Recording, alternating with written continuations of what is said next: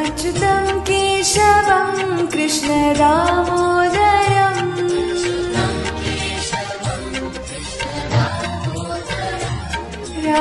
रामनारायणं जानकीवल्लभम्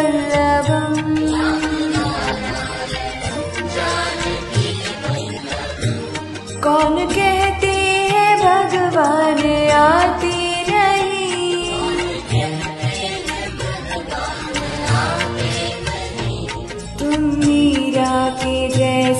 बुलाते नहीं।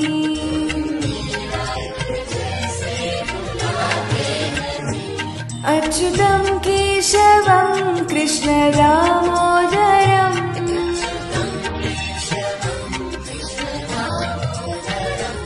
रामनारायणं जानकीवल्लभम्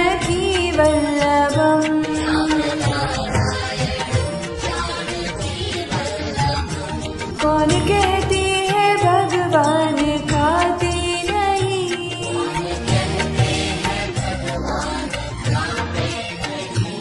वीर शबरी के नहीं।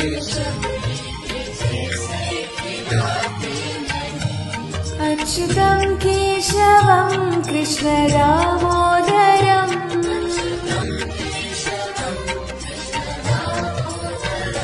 रामनारायणं जानकीवल्लभम्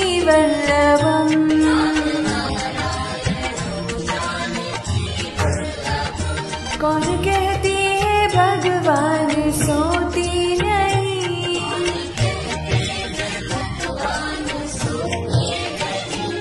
माँ यशोदा के जैसे सुलाते नहीं। माँ यशोदा के जैसे अच्युतं केशवं कृष्णदामोदरम्।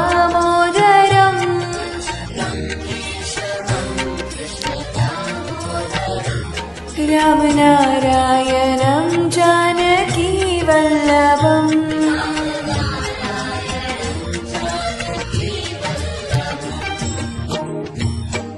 कौन कहते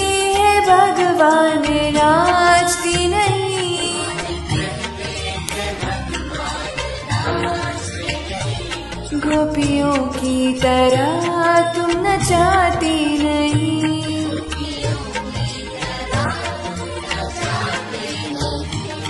अच्युतं केशवं कृष्णदामोदरम्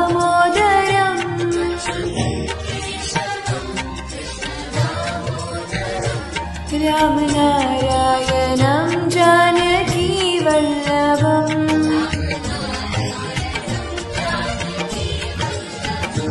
रामनारायणं जानकी वल्लभं रामनारायण